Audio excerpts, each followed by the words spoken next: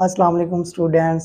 Chapter स्टिशियोमेट्री में आज का हमारा लेक्चर नंबर फोर है limiting reactant and excess reactant तो चलिए स्टार्ट करते हैं हम अपना लेक्चर लिमिटिंग वर्ड निकला है लिमिटिंग लिमिट से, जिसका मीनिंग है कम। और एक्सेस का मतलब है ज़्यादा। एक्सेस का क्या मतलब है? ज़्यादा।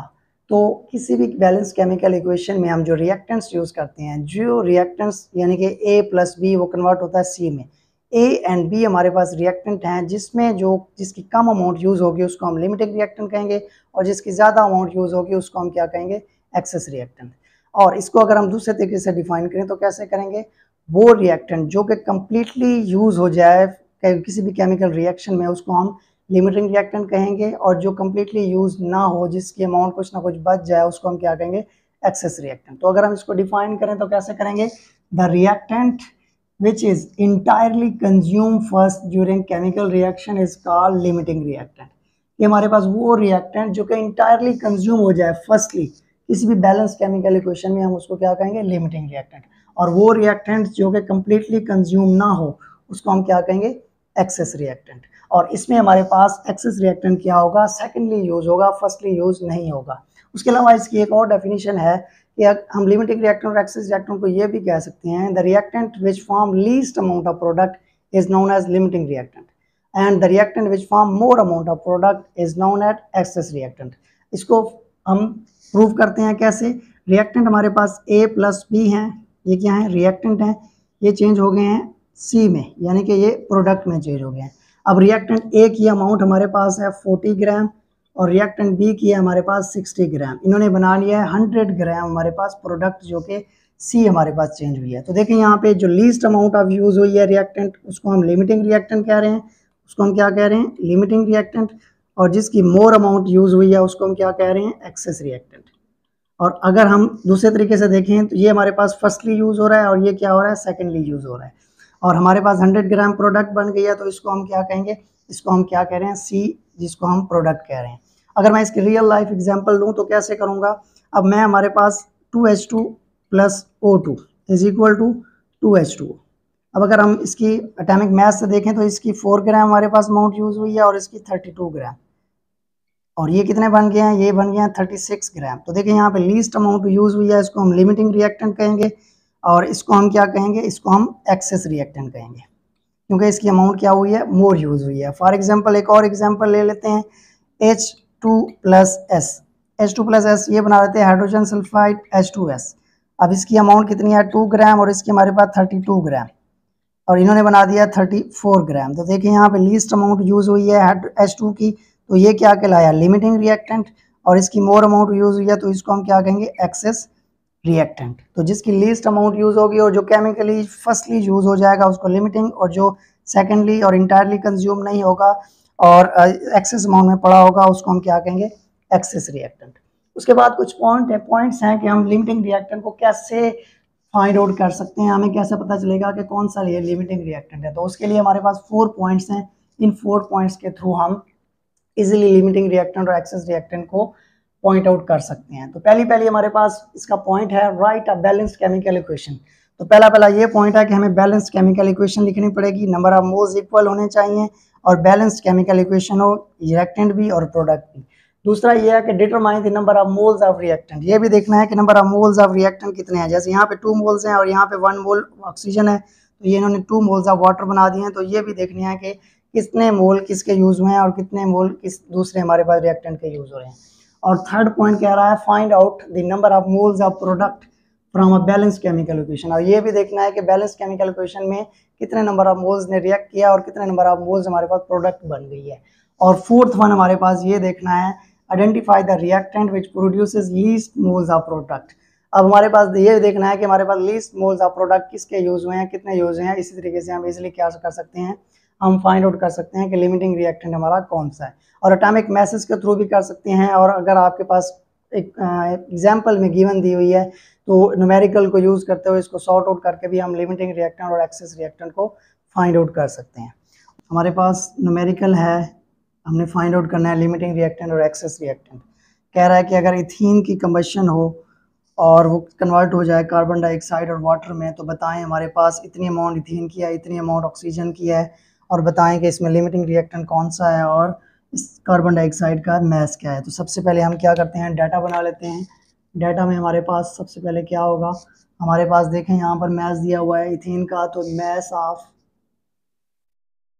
C two H four ये कितना है? ये है टू पॉइंट एट ग्राम उसके बाद है मैस ऑफ़ ओ टू देखिए मैस ऑफ़ ओ टू दिया हुआ है कितना? सिक्स पॉइंट फोर ग्राम और कह रहा है कि लिमिटिंग रिएक्टेंट फाइंड आउट करें। बैलेंस केमिकल इक्वेशन में और मैस ऑफ़ कार्बन डाइऑक्साइड कितना फॉर्म हुआ है, वो बताएँ।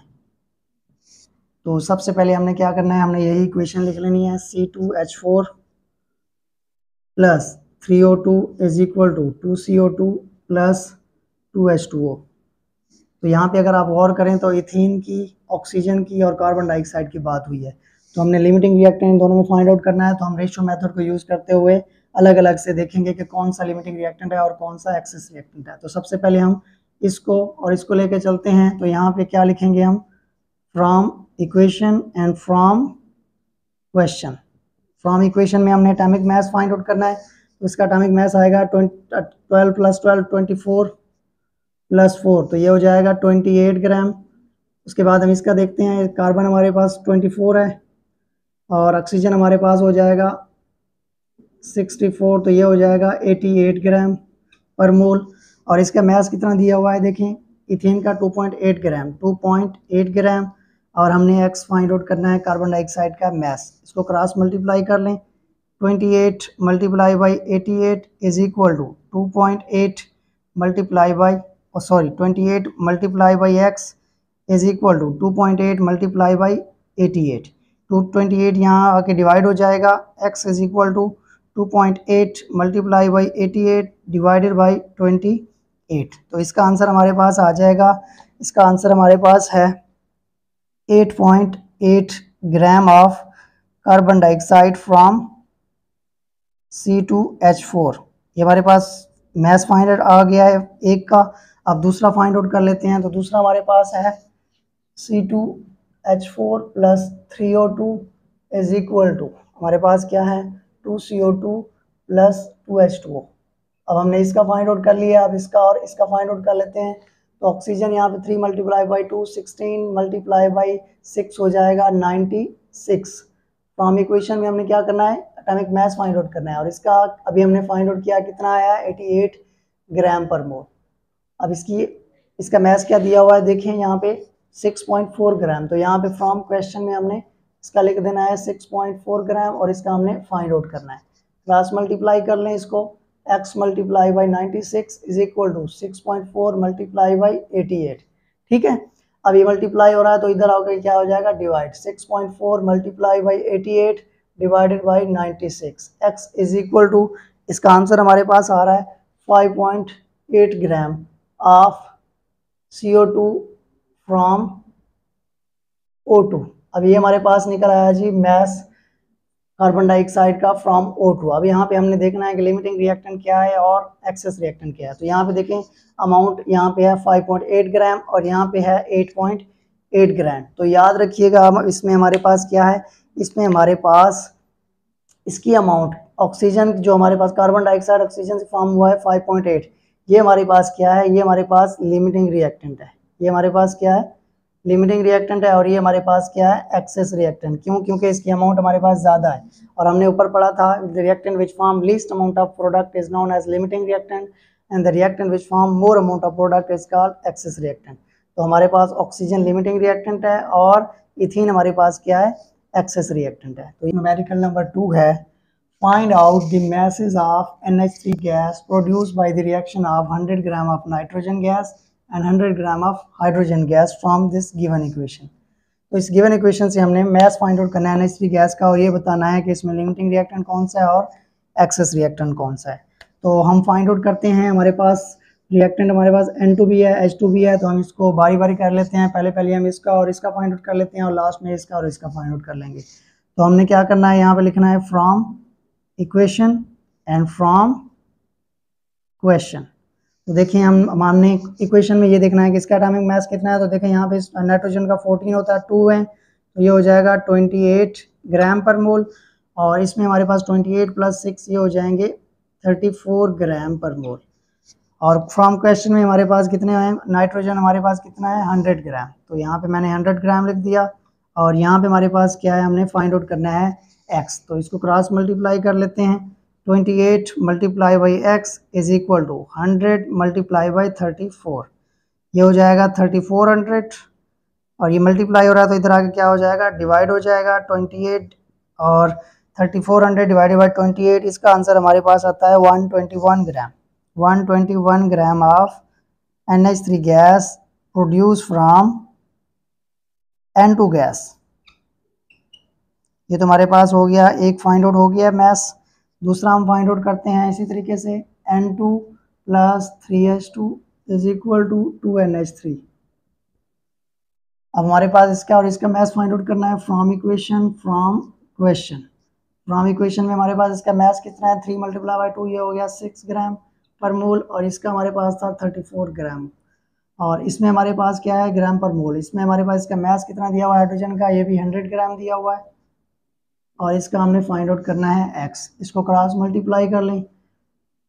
Six multiply by x is equal to hundred multiply by thirty four ये हो जाएगा थर्टी फोर हंड्रेड ये मल्टीप्लाई हो रहा है तो इधर होकर क्या हो जाएगा? ये हो जाएगा डिवाइड हो जाएगा। जब इसका आंसर निकालेंगे तो इसका आंसर हमारे पास आता है five six six gram of N H three gas from H two gas produce from H two gas तो ये हमारे पास मैथ निकल आया। अब यहाँ पे देख लें अमाउंट किसकी ज़्यादा है और किसकी कम है।